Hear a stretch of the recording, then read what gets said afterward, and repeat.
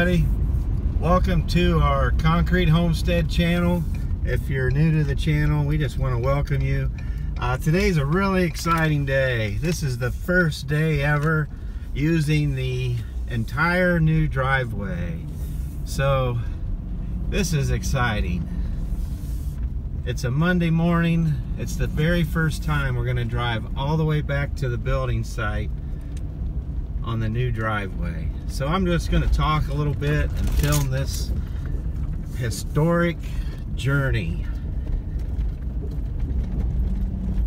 So, like I said, if you're new to the channel or if even if you're not, we really appreciate all our viewers.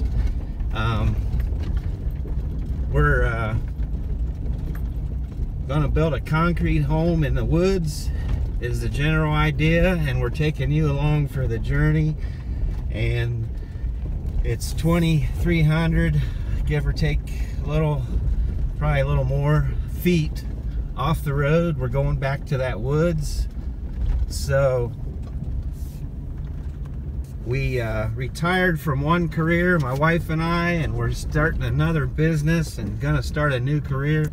So this is a perfect opportunity to build a house in the woods, our dream home. We're uh, middle-aged and uh, so we purchased the property, decided where we wanted the house. Wow, we had a little drifting over the weekend. And uh, we pretty much had an idea that it'd be all gravel where the we're gonna put in a full basement and a walkout basement. So uh, we decided to, uh, wow, I better, wait a minute. I didn't know it drift that much. I'm gonna have to back up and get a little gas to, to really get some power here. So, uh, watch me get stuck on the first visit back. So, we laid out our driveway. You can watch that in previous videos with the GPS tractor. And uh, we dug out topsoil. We did all this with a track loader ourselves. Because like I said, we're in between careers right now, so we had time. We dug it all out. We used our own gravel for oh 95%. We did buy 120 tons out by the road just to when we put in the culvert at the road we wanted to get off the road so we had a place to park because if you watch the previous videos many times we had to walk back to work because of the mud.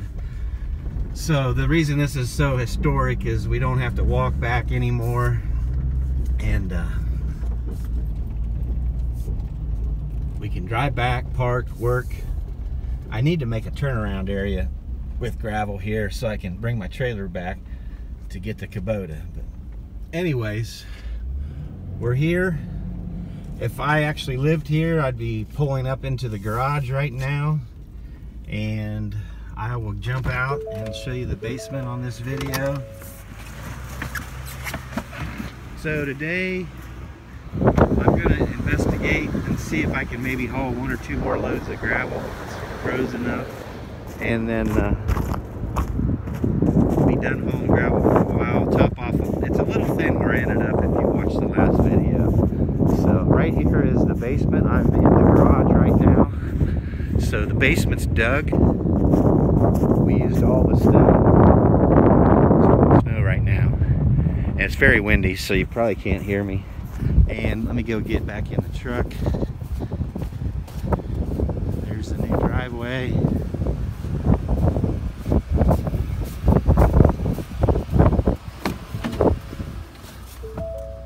When we dug the basement, we had to take um, elevations and uh, get the depth correct.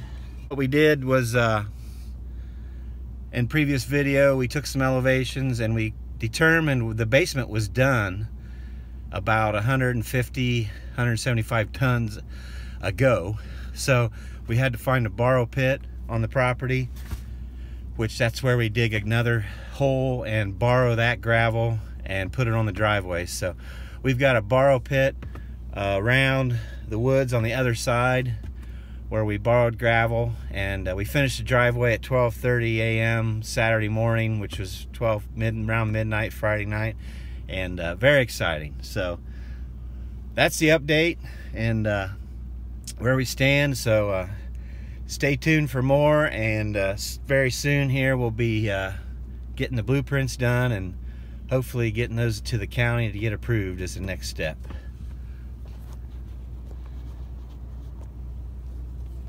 So I don't know how much more I'll film today, but uh, just wanted to get that historic journey driving back on film.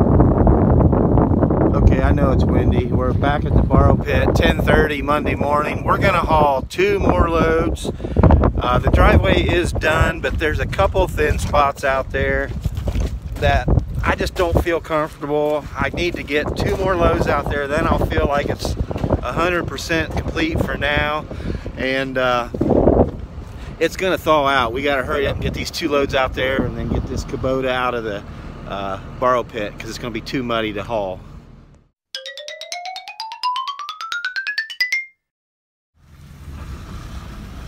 Okay, we're back. We got our two loads hauled. There's one dumped on the driveway and the other one's up there.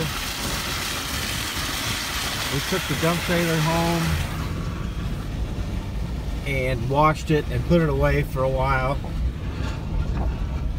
We definitely won't be hauling anymore from the borrow pit this week. It's melting and getting wet out. So we hooked, now we, uh, then we ate lunch and uh, one o'clock. We got the uh, flatbed trailer and uh, we're gonna go back to the building site and park. And then we need to walk over to the borrow pit and get the Kubota and bring it over here. And uh, I'll probably go ahead and remove this snow that's causing me a little bit of heartache here these drifts. And then I'll spread out those two loads of gravel. And do touch-up work on the lane for a couple hours then we're going to take the Kubota home I know it's windy so I won't talk long three o'clock we're done here for the day it's getting wet. We got them two loads smoothed out. There's your new driveway. That's not all of it. Turn around. There's some more. So uh, appreciate all our viewers. Uh, we got the Kubota loaded up. I'm standing on the fuel tank on the trailer. And uh, we're gonna fill up everything with fuel, take everything back to the shop, give it a bath, and do our service work. And uh, don't know what the next video will be, but uh, we really appreciate our viewers and uh, thanks for watching. Subscribe. We need to get some more subscribers. My goal is 500 subscribers and then I'll buy a new camera. So maybe one that doesn't get in the wind. So thanks a lot everybody. Have a good one.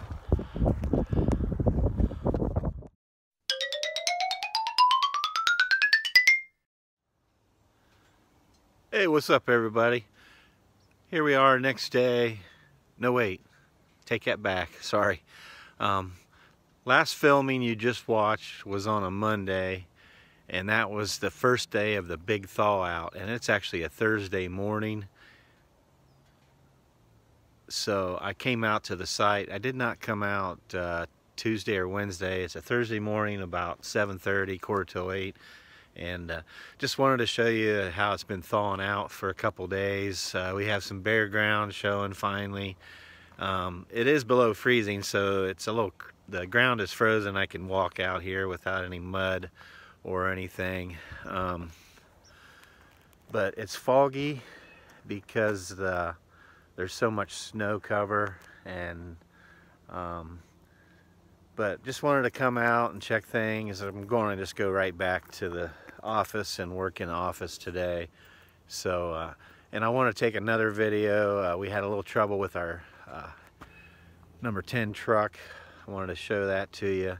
I'll get back to the shop and show you what happened there. We had some tire issues, but uh, came back the new driveway and uh, it's crusty frozen so not sure how it's doing really it's not a good time to judge it but uh, at least we're done hauling gravel for a while we need to service the Kubota here probably tomorrow but uh, today's office work and uh, go from there but yeah I do have one video I want to take to show you what happened to the truck so we'll just add a few short snippets here and uh, to make this a complete video for YouTube and and kind of keep you updated what's going on.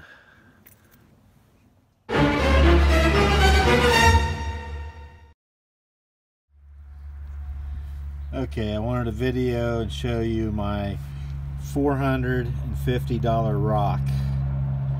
So, this is what I was going to tell you. This rock, notice it has black streaks on it. This rock got caught, stuck, clear inside these duals, wedged up in there, and I didn't know it. Uh, picture this rock way inside there. And I didn't know it. It happened on a very snowy day. One of them days I got stuck. And so when I drove home the truck was vibrating. I thought I had frozen snow in my tires. So I didn't worry about it. And then uh, that was on a Friday or and Saturday and Sunday we didn't work. And then we had this big the big thaw that I call it.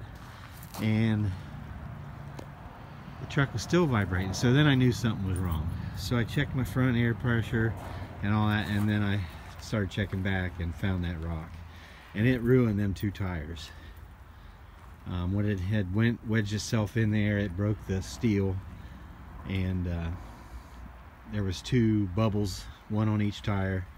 Obviously, they were ruined, and uh, I thought I could drive it for a while. I didn't do anything about it for 24 hours, and I left the shop one morning. I wanted to go out to the farm, and uh, heard a big blowout and uh, so one of them blew so I immediately went and got these two tires fixed so two tires cost me 450. so that's my $450 rock so the tip for the day is if your truck is vibrating there's definitely something wrong investigate a little more than I did but I think my damage was already done I think when the rock went in there it um, ruin them two tires. So that's the tip for the day.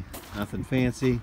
Just if your vehicle's vibrating, investigate a little. Take a couple minutes to be safe out there, everybody. So I think we'll end this video here. We really appreciate our viewers and uh, thank you so much for watching. Please subscribe. We'd like to get some more subscribers. Um, tell your friends to watch uh, local and uh, we'll catch you on the next one hopefully we don't have any more $450 rocks